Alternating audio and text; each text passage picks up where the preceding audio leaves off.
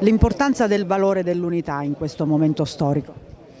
L'unità del Paese è fondamentale proprio in questo momento nel quale eh, diverse situazioni estremamente diciamo, critiche convergono proprio sul Paese, a cominciare dalla difficile situazione socio-economica che eh, affligge molti territori, e in particolare per quanto riguarda il Teramano sicuramente eh, parlando appunto con, la, con, i, con, i, magistrati, con il procuratore della Repubblica, tanti sono i fallimenti, le situazioni di crisi, le nuove povertà che devono essere seguite attentamente. È ovvio che in un periodo come questo l'azione sinergica delle istituzioni è fondamentale anche per ridare alla gente, alle persone la fiducia nelle istituzioni. Questo rapporto fiduciario è fondamentale per poter andare avanti.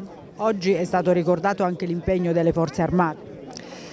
Le forze armate eh, le ricordiamo non solo in Italia e non solo per quello che fanno qua ma anche per quello che fanno all'estero a difesa della comunità nazionale e internazionale.